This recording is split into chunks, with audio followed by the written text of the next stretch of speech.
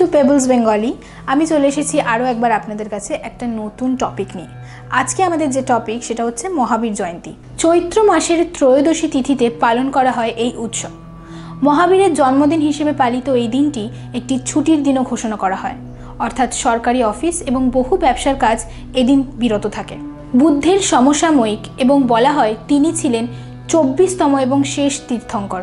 মহাবীর, যার আসল নাম ছিল বর্ধমান অনুমান করা হয় তিনি খ্রিস্টপূর্ব পাঁচশো নিরানব্বই অব্দ থেকে খ্রিস্টপূর্ব ছশো ষোলো অব্দের মধ্যে জন্মগ্রহণ করেন।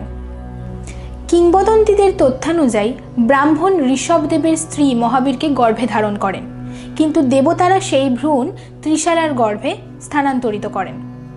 বলা হয় যে ত্রিশালা স্বপ্ন দেখেছিলেন চোদ্দটি, যা পর্যবেক্ষণ করে ভবিষ্যৎবাণী করেন একজন ব্রাহ্মণ যে হয় এই সন্তান একজন মহান রাজা হবে আর নইলে একজন তপস্বী হবে।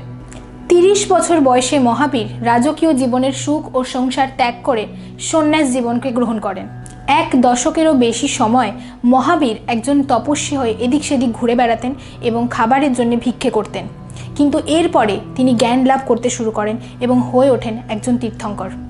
আজকের সময় জৈন ধর্মের অনুগামীরা মহাবীরকেই তাদের ভাববাদী হিসেবে পুজো করেন এবং তিরিশ লাখেরও বেশি মানুষ জৈন ধর্মের পথকে বেছে নিয়েছেন এবং জীবের প্রতি অহিংসার আদর্শকেই মেনে চলেছেন। উপোস ও পুজোর মাধ্যমে মহাবীর জয়ন্তী পালন করা হয় এবং এই উৎসব সবথেকে বেশি পালন করা হয় বিহারে, যেখানে তিনি জন্মগ্রহণ করেছিলেন। এছাড়াও একটি বিরাট অংশ পালন করা হয় কলকাতার পরেশনাথ মন্দিরে। অনেক কাল আগে সিদ্ধার্থ নামের এক রাজা ছিলেন। তিনি বিহারের বৈশালীর কাছে কুন্দ গ্রামের রাজা ছিলেন। তার রানী ছিলেন ত্রিশালা। তাদের এক ছেলে ছিল নন্দীবর্ধন।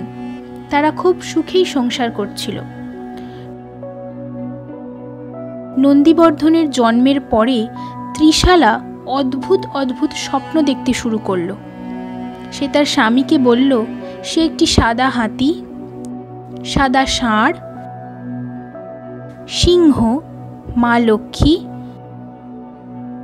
ফুলের একজোড়া মালা, চাঁদ, সূর্য, পতাকা, রূপর কলসি পদ্ম ফুলে ভরা পুকুর, দুধের সমুদ্র, স্বর্গীয় রথ, রত্নের স্তূপ এবং ধোঁয়াহীন আগুন দেখে। রাজা কিছুই বুঝতে পারেন না। তাই তিনি সিদ্ধান্ত নেন রাত জ্যোতিষের পরামর্শ নেওয়ার। পরের দিন রাত জ্যোতিষ তাদের সাথে দেখা করতে আসেন। তিনি বলেন, রাজামশাই মহারানীর স্বপ্ন বলে দেয় যে তাদের পুত্র এক এমন মানুষ হবে যার দ্বারা সারা বিশ্ব উপকৃত হবে।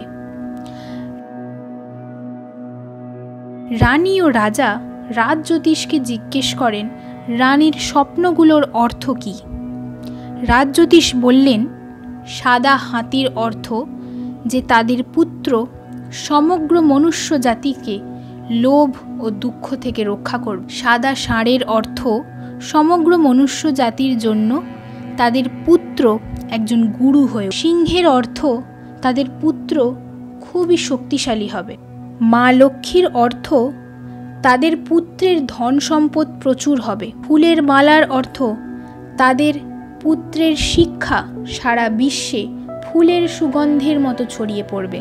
চাঁদের অর্থ তাদের পুত্র শারীরিকভাবে সুস্থ সবল হবে। সূর্যের অর্থ তাদের সন্তান মনুষ্য জাতিকে তাদের ভেতরের সব পাপকে বিনাশ করতে শেখাবেন।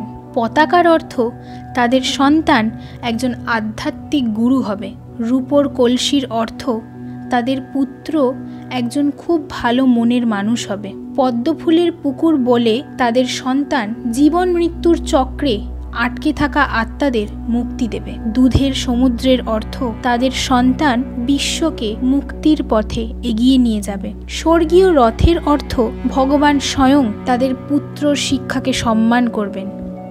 রত্নের স্তূপের অর্থ তাদের পুত্রের অসীম জ্ঞান হবে। ধোঁয়াহীন আগুনের অর্থ তাদের সন্তানের জ্ঞান সকল মানুষকে সাহায্য করবে।